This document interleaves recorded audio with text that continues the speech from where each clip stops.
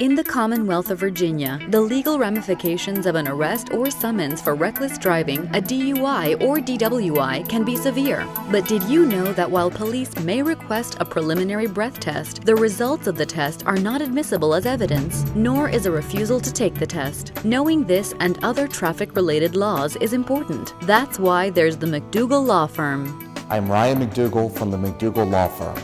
As a former prosecutor and an experienced trial attorney, we have the knowledge of the law, the relationships, and the experience to bring you the best representation in Central Virginia and throughout the Commonwealth. The trusted and respected attorneys at the McDougle Law Firm analyze the facts of your case and walk you through the legal process to achieve the best possible results in or out of the courtroom. If you're looking for consummate legal professionals who go above and beyond to deliver the best representation for your traffic matters, look no further than the McDougle Law Firm.